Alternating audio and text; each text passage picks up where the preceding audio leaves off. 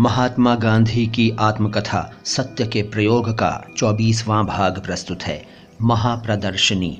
सन 1890 में पेरिस में एक बड़ी प्रदर्शनी हुई थी। उसकी तैयारियों के बारे में मैं पढ़ता रहता था। पेरिस देखने की तीव्र इच्छा तो थी ही। मैंने सोचा कि ये प्रदर्शनी देखने जाऊँ तो दोहरा लाभ होगा।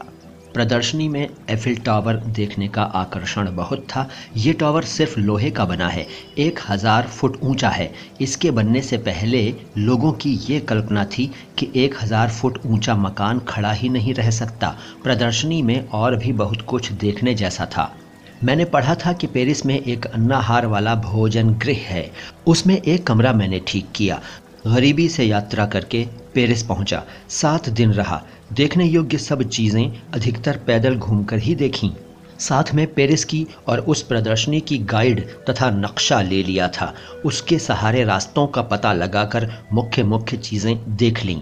प्रदर्शनी की विशालता और विविधता के सिवा उसकी और कोई बात मुझे याद नहीं है। एफिल टावर पर तो दो तीन बार चढ़ा था, इसलिए उसकी मुझे अच्छी तरह याद है। पहली मंजिल पर खाने पीने का प्रबंध था। ये कह सकने के लिए कि इतनी ऊँची जगह पर भोजन किया था, मैंने साढ़े सात शिलिंग फूंक कर वहाँ खाना खाया। पेरिस के प्राचीन गिरजाघरों की याद बनी हुई है। उनकी भव्यता और उनके अंदर मिलने वाली शांति भुलाई नहीं जा सकती। नौत्रदाम की कारीगरी और अंदर की चित्रकारी को मैं आज भी भूला नहीं हूँ। उस समय मन में ये ख्याल आया था कि जिन्होंने लाखों रुपए खर्च करके ऐसे स्वर्गीय मंदिर बनवाए हैं, उनके दिल की गहराइयों में ईश्वर प्रेम तो रहा ही होगा। पेरिस के फ़ैशन, पेरिस के स्वेच्छाचार और उसके भोग विलास के विषय में मैंने काफ़ी पढ़ा था। उसके प्रमाण गली गली में देखने को मिलते थे, पर ये गिरजाघर उन भोग विलासों से बिल्कुल अलग दिखाई पड़ते थे। गिरजों में घुसते ही बाहर की अशांति भूल जाती है। लोगों का व्यवहार बदल जाता है। लोग अदब से पेश आते हैं। वहाँ कोलाहल नहीं होता।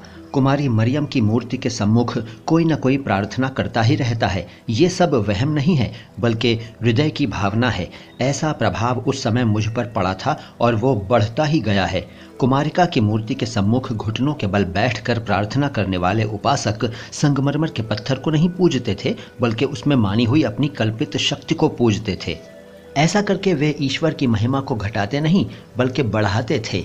ये प्रभाव मेरे मन पर उस समय पड़ा था, जिसकी धुंधली याद मुझे आज भी है। एफिल टावर के बारे में दो शब्द कहना आवश्यक है। मैं नहीं जानता कि आज एफिल टावर का क्या उपयोग हो रहा है। प्रदर्शनी में जाने के बाद प्रदर्शनी संबंधी बातें तो पढ़ने में आती ही थीं, उसमें उसकी स्तुति भी, पढ़ी और निंदा भी। मुझे याद है कि निंदा करने वालों में टॉल्स्टॉय मुख्य थे। उन्होंने लिखा था कि एफिल टॉवर मनुष्य की मूर्खता का चिन्ह है, उसके ज्ञान का परिणाम नहीं। अपने लेख में उन्होंने बताया था कि दुनिया में प्रचलित कई तरह के नशों में तंबाकू का व्यसन एक प्रकार से सबसे ज़्यादा खराब है। कुकर्म करने की जो हिम्मत मनुष्य में शराब पीने से नहीं आती, वो बीड़ी पीने से आती है। शराब पीने वाला पागल हो जाता है, जबकि बीड़ी पीने वाले की अक्ल पर धुआँ छा जाता है और इस कारण वो हवाई किले बनाने लगता है। टॉल्स्टॉय ने अपनी ये सम्मति प्रकट की थी कि एफिल टावर ऐसे ही व्यसन का परिणाम है। एफिल टावर में सौंदर्य तो कुछ है ही नहीं। ऐसा नहीं कह सकते कि उसके कारण प्रदर्शनी की शोभा में कोई वृद्धि हुई। एक नई चीज़ है, बड़ी चीज़ है, इसलिए हज़ारों लोग उसे देखने के लिए उस पर चढ़े। ये टावर प्रदर्शनी का एक खिलौना था और जब तक हम मोहबश हैं, तब तक हम भी बालक हैं। ये चीज़ इस टॉवर द्वारा भली भांति सिद्ध होती है। मानना चाहें तो इतनी उपयोगिता उसकी मानी जा सकती है। दोस्तों, इससे आगे की बातें अगली मुलाकातों में। मैं मुइन शमसी हूँ। ये चैनल है नो बकवास, बातें खास। इस वीडियो को लाइक ज़रूर कर दीजिए और चैनल को अगर सब्सक्राइब नहीं किया है तो कर लीजिए। Thank you.